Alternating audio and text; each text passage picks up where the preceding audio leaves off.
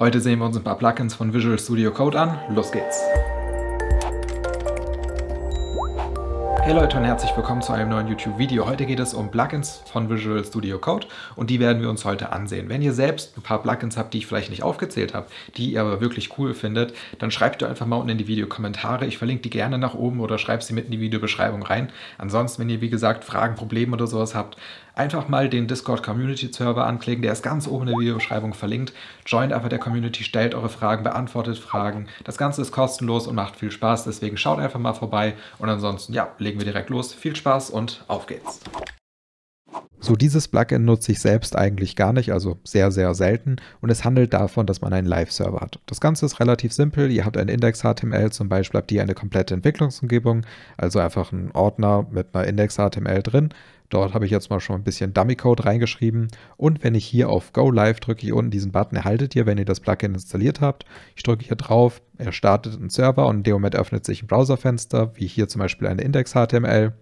Und wenn ich die jetzt einfach sehe, ist da nichts drin. Wenn ich jetzt hier in meine H1 sowas reinschreibe, ich das Ganze mit Steuerung S speichere und noch einmal diesen diese schöne Seite öffne, seht ihr, hier oben steht ASD drin. Das Ganze ist Live Refresh, was heißt, in dem Moment, wo ihr das hier abspeichert, startet er das Ganze neu.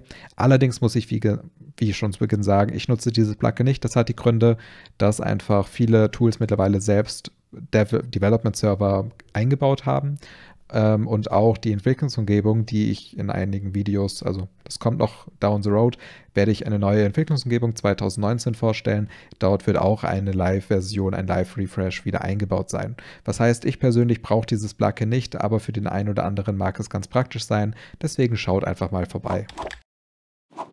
So, NPM kennen wahrscheinlich viele von euch. Ich nutze es regelmäßig in meinen Videos. Es ist ein Packet Manager und es gibt ein Plugin für Visual Studio Code. Das ist sehr, sehr praktisch.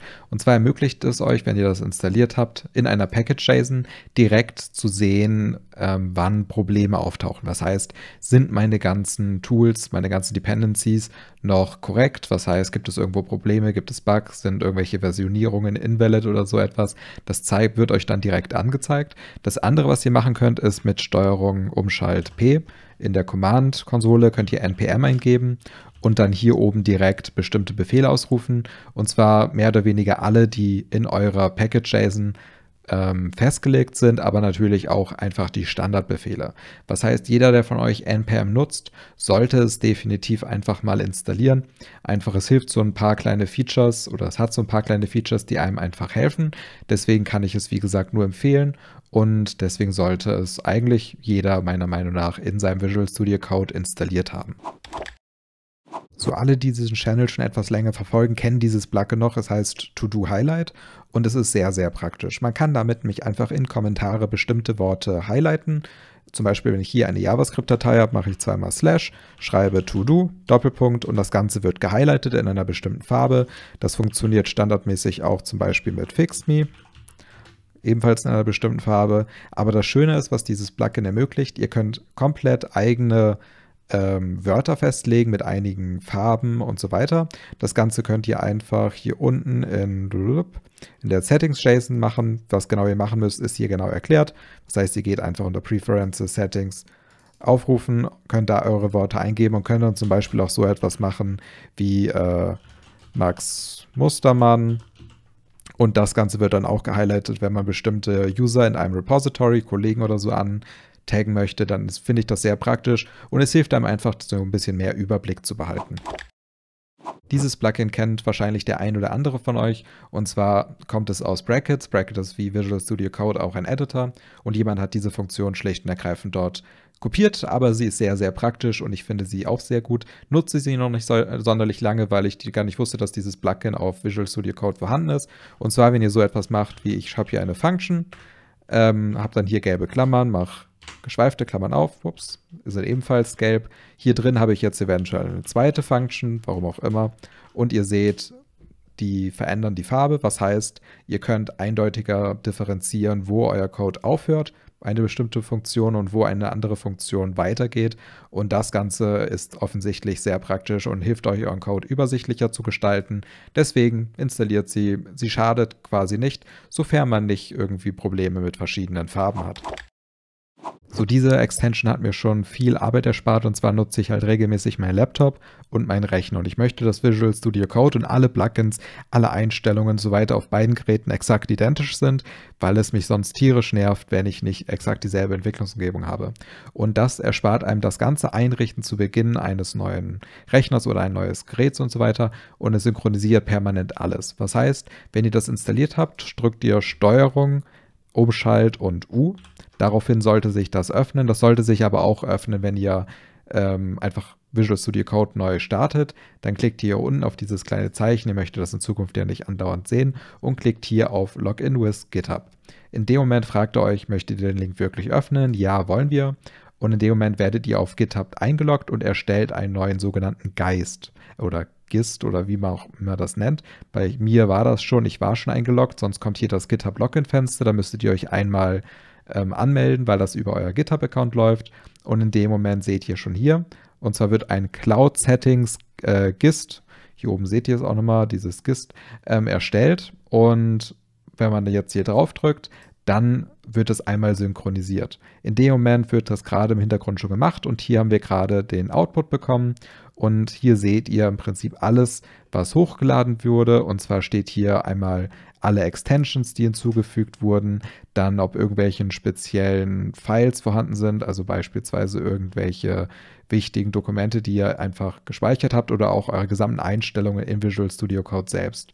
Die werden jetzt mehr oder weniger einfach äh, synchronisiert. Ihr könnt das mit halt Shift, Alt und U einfach permanent machen. Dann wird hier hinten im, im Prinzip gefragt, ihr fragt jetzt, willst du das wirklich machen? Ist dasselbe, ähm, was da schon liegt? Da könnte man das jetzt forcen, wenn man will. Wollen wir jetzt nicht. Was heißt, ihr könnt es einfach hochladen und hier unten findet ihr alle weiteren Befehle, die es gibt. Was heißt, ihr könnt äh, Download, das ist dann Shift, Alt und D. Damit könnt ihr eure Settings downloaden. Wenn ihr nur dieses eine Plugin installiert habt, werden dann alle anderen wieder installiert. Und man kann auch hier äh, Auto-Download und Auto-Upload, wenn man ähm, das zum Beispiel startet, also Visual Studio Code startet, dass sich automatisch alles runterlädt und so weiter. Was heißt, das könnt ihr hier einfach über die Settings machen. Wir rufen dazu jetzt einfach über die Kommando Konsole einfach hier Sync und Download Settings könnten wir hier machen beispielsweise oder wir sagen jetzt hier ähm, Advanced Options und sagen hier umschalten der hier umschalten automatisches Hochladen beim Ändern der Einstellungen. Das heißt, das wollen wir auf jeden Fall. Und wir wollen aber auch Advanced Options und zwar automatisches Herunterladen beim Starten des Programms. Das sollen wir beides aktiviert haben und jetzt jedes Mal, wenn wir etwas ändern, lädt er es automatisch hoch und wenn wir unser Programm starten und beispielsweise am Laptop was geändert haben, dann würde er es anpassen.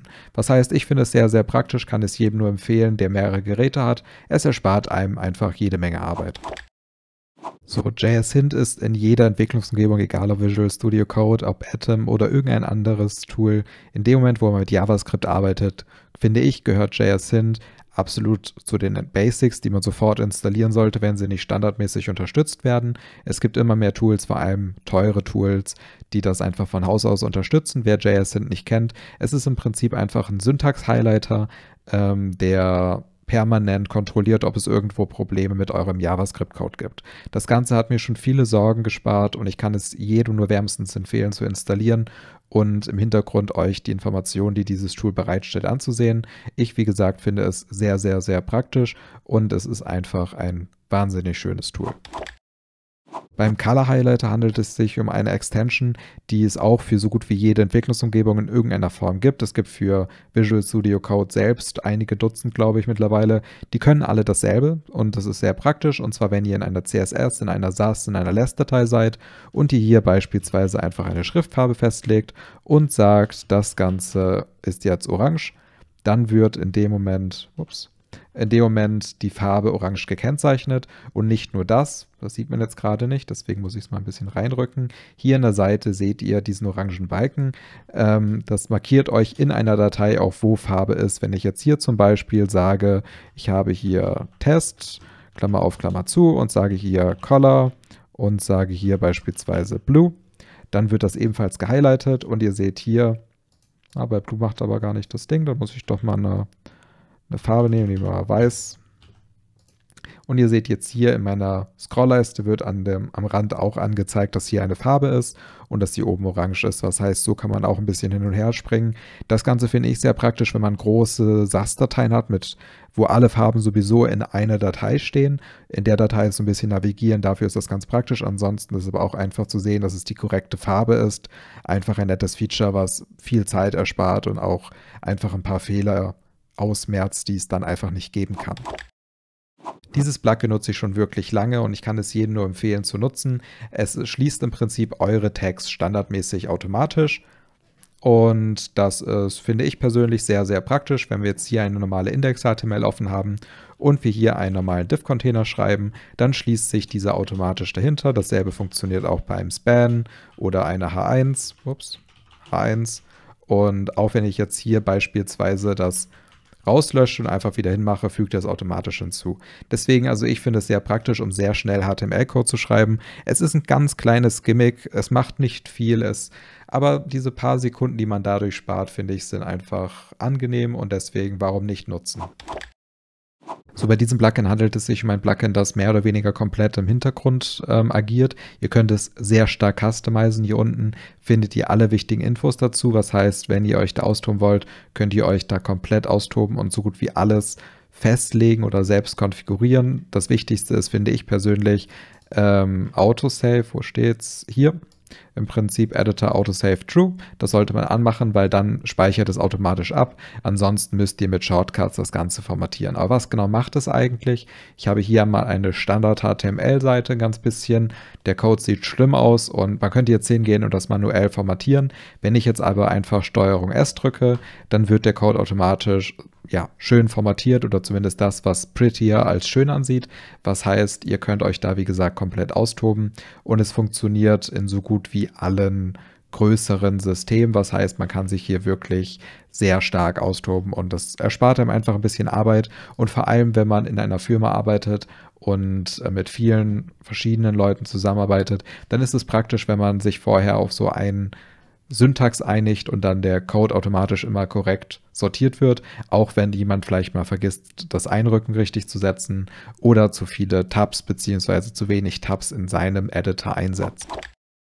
So die letzte Kategorie der Extensions, die ich euch ja zeigen möchte, hat nicht direkt eine wirkliche Extension als Grundlage, sondern es sind einfach Snippets. Und zwar habe ich zum Beispiel Angular Snippet installiert, was mir einfach hilft, TypeScript oder Angular ähm, Snippets mir direkt vorschlagen zu lassen, aber ich habe auch sowas installiert, wie beispielsweise hier unten SAS, was einem ebenfalls so ein bisschen Highlighting macht, aber auch Snippets vorschlägt oder hier unten auch für beispielsweise Nest.js und so weiter. Was heißt, es gibt für so gut wie jedes größere Framework ähm, Snippets. Es gibt auch eigentlich oft von den Herstellern selbst so Plugins für die größeren Editoren wie Visual Studio Code, wie Atom und so weiter, wo einfach Snippets vorgefertigt werden. Was heißt auch für beispielsweise React, für auch ähm, Vue und so weiter gibt es diese Snippet-Sammlungen und ich kann euch nur empfehlen, für die Frameworks, für die Tools, mit denen ihr arbeitet oder viel arbeitet, dazu die passenden Extensions zu installieren, wird euch eine Menge Arbeit ersparen und einfach alles ein bisschen einfacher machen, weil ihr nicht permanent in der Doku nachsehen müsst, sondern einfach ungefähr das Tipp, was ihr sucht und die Autocomplete wird dann im Hintergrund schon vorschlagen, das, was ihr eigentlich haben wollt.